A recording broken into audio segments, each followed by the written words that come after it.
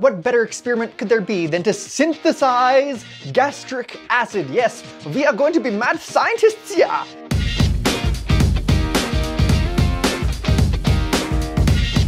This is Destructive Creativity. We exist for you, for science, and for fun. This is part of my ongoing partnership with History Alive. So if you want more content like this, go check out the link down in the description. Let's go! In honor of our unit on the human body and medicine, I thought what better experiment could there be than to synthesize gastric acid. Gastric acid is a mixture of four main ingredients. The first of which is water, and I have almost a liter of distilled water here, and that's going to be our base and the majority of what gastric acid actually is. The second ingredient is hydrochloric acid. Hydrochloric acid is a very strong acid that can dissolve metal very quickly. As you can see back here, that's hydrochloric acid, and that is what your body actually produces naturally. So we're going to be mixing in about 13 milliliters of hydrochloric acid into our mixture. Next, we have table salt. Just a little bit of salt, about five grams. And then the last ingredient is potassium chloride. And again, about five grams of potassium chloride per one liter of water and hydrochloric acid mixture. Let's mix them all together and make some gastric acid. First I'll pour in the salt. Next I'll drop in the potassium chloride. I'll give that a little bit of a stir.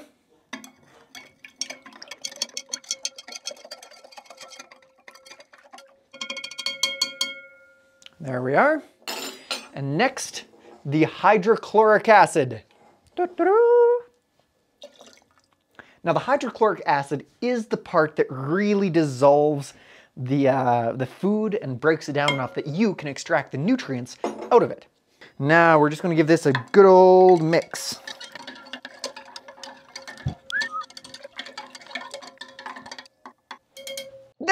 We did it. We have created gastric acid. So this, what is in this jar right now, is what is inside of your stomach, give or take uh, a few levels of pH. Now, it doesn't matter what I make, somebody always asks, can I eat it? It doesn't matter if I'm making some sort of chemical or dealing with molten metal. So to get a head start on those questions, no, don't eat gastric acid. It belongs in your stomach and that's where it should stay. For example, if you've ever thrown up and you have that really nasty taste in your mouth, that's gastric acid that's coming up and it tastes pretty bad.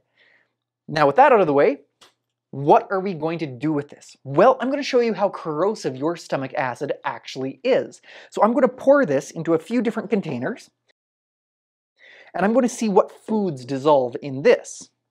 And in this one, one moment, I'll get a smaller Erlenmeyer flask. There we go. This one's better. This one I'm going to pour in probably around about the same, 400 milliliters. That's about 450, but that's okay. And I'm going to see if your stomach acid can actually dissolve metal. So what would happen if you ate just a whole bunch of aluminum foil? Well, we're going to find out.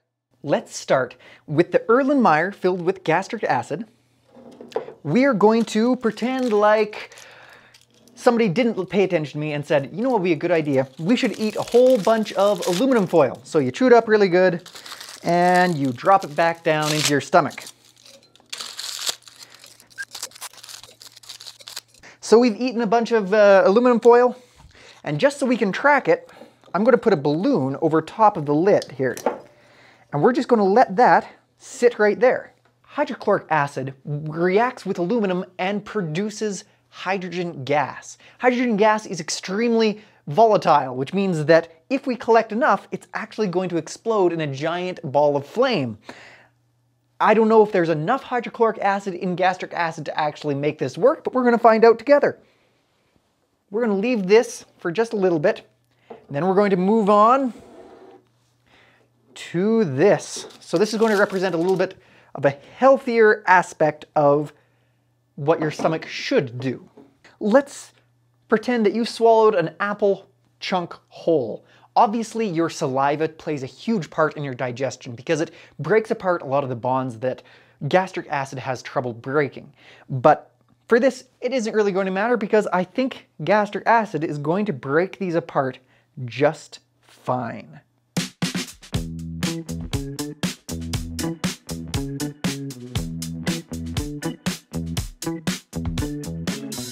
Four days have passed, and we're back. So we've been letting this solution of gastric acid sit for about four days. And gastric acid does contain hydrochloric acid, which is very, very strong, but in low enough quantities that it's not like a massive bubbling eruption inside of your stomach at all times. It's a slow process. So for example, this solution of gastric acid, we dropped two apple slices in it. And the apple slices, let me just get some paper towel, are very rubbery right now. Like they're, they're really rubbery and they've lost most of their color. And as you can see, most of the color is in this solution.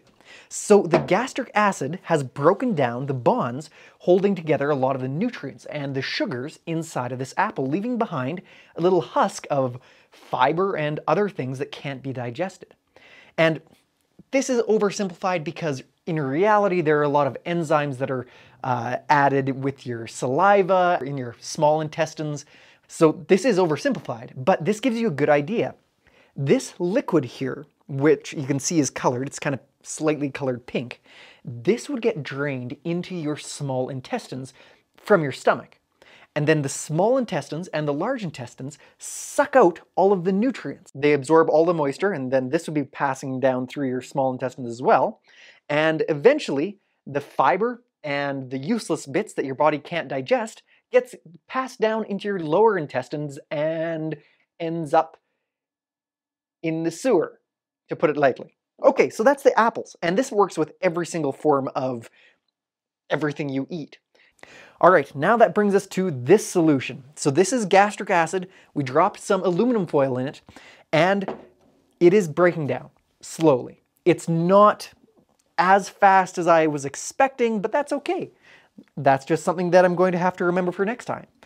I did put a balloon over top of this because as you can see, there is this little lump. This balloon is full of hydrogen uh, and a couple of other gases, but the, the aluminum is reacting to the hydrochloric acid inside of this solution, and the off gas is hydrogen. Hydrogen is the gas that the Hindenburg was filled with. Remember that giant massive explosion that was a huge disaster and kind of doomed the dirigibles for all of history? That's what's in this balloon. And if you ate enough aluminum foil, you would be breathing out a little bit of hydrogen gas as well. So don't eat aluminum foil.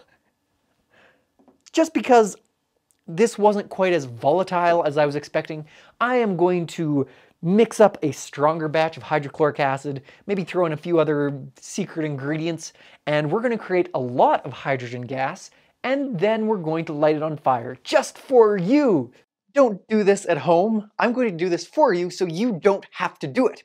Um, yeah, I don't recommend doing this under any circumstances, but I am doing this safely. I have my good old fire extinguisher here. I've got eye protection. I've got everything I need to do so I don't die. So yeah, that's fine. I've prepared my solution here. I'm probably not going to tell you exactly how to do this um, because I don't want to be responsible for you doing something stupid. So don't do it. Just watch me do it instead. Yeah. Okay. I have my solution here, and now I'm going to drop in some aluminum foil and then cover it with a balloon and trap the hydrogen gas that is created. Now I want to do this fairly quickly, so I'll just drop them in kind of all in a lump like that.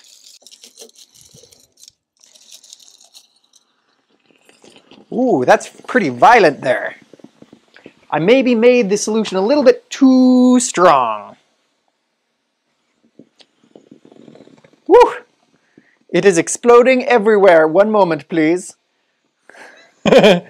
Woo-wee! I've made up a batch here that's slightly less strong, which is always a good idea uh, after a reaction like that. So, let's try, let's try this again. I have a balloon at the ready. Okay. Now, pop on the balloon.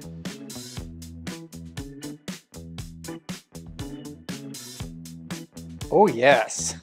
Now the hydrogen is going to fill this balloon up because hydrogen is lighter than air, which is why they filled giant zeppelins with hydrogen, is because it's a very efficient way to make things lighter than air.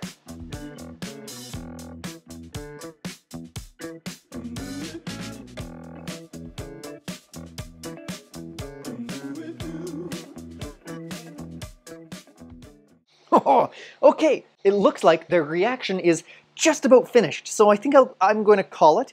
This will be our little balloon of hydrogen. Doo -doo -doo. Let me just quickly tie a knot so that we don't lose any. There's not enough hydrogen here to actually make this balloon lighter than air, but there is more than enough to give a solid explosion.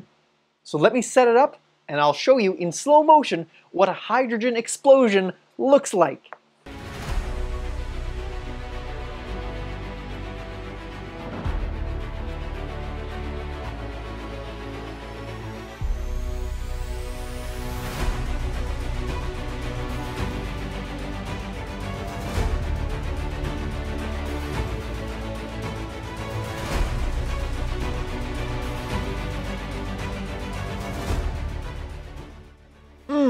The smell of burnt human flesh. Don't worry, it's just mine. I burnt all of the hair off of my hand. Yes, that is the true smell of science.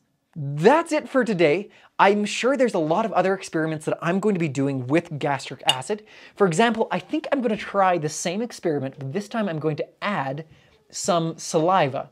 So yeah, science is a little bit gross sometimes. I'm going to try spitting into the glass as well so that I can add the enzymes that your saliva in your mouth produces. It helps digest a lot easier and breaks down a lot of the fibers. Yeah, I'll try that later. Anyways, see you next time. I'm Jonathan Allers for History Alive. See you next time.